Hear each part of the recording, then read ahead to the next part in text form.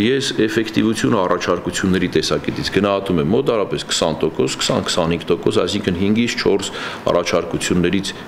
մեկն է, որ ի վերջո արտացոլվել է կառավարության, նախագահի աշխատակազմի, նախարարությունների արդեն փաստաթուղթ դարձած որոշումներում, իսկ դիմում բողոքների առումով մոտարապես 30%-ը։ Այսինքն աշխատանքներ տանելու առումով, այսպես ասած, մեծ դժգոհություններ չունենք, բայց էֆեկտիվության առումով մտածելու խնդիրներ ունենք, համաձայն եմ ձեր հարցի հարցում եղած ենթատեքստի հետ։ Եթե վերցնենք 50% անոց արդյունավետությունը որպես մինիմալ չափորոշիչ։ Բավարար էսպես, հա, նվազագույն, այո։ Օպտիմալ տենց է։ Այո։ Եվ եթե գիտենք, որ մինչև 50 չի հասնելու, այսինքն պրոգնոզի հարցը ստեղ արժի այդ վիճակում այդ ռեկոմենդացիան տանել պարլամենտ կամ առաջարկել պարլամենտ։ Կարծում եմ այնուհանդերձ արժի,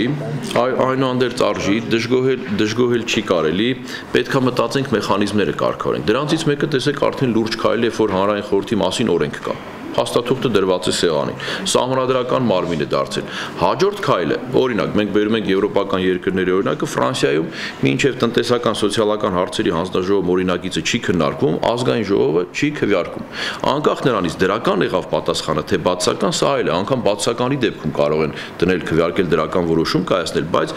արարողակարգը այնպեսին է, որ հանրային խորհրդով պետք է անցած լինի։ Եթե մենք այս մեխանիզմները արդեն փորձ ունեցող երկրներից վերցնենք, իսկ այսօր աշխարհում 70 երկիր կա, որ հանրային խորհրդի անալոգը ունի, առաջատարն էլ Ֆրանսիան է 20-ական թվականներից ուներ 40-ականների երկրորդ կեսին համանդրական մարմին դարձեց։ Համանդրության հոդվածներից մեկը կարծեմ 11-րդն է վերաբերում է հենց այդ մարմնին։ Այստեղից փորձի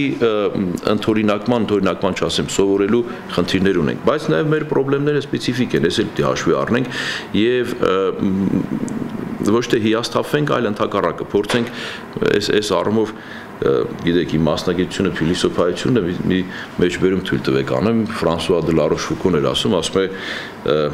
խելացի մարդը իր խնդիրների համար մեղադրում է նախ եւ առաջ իրեն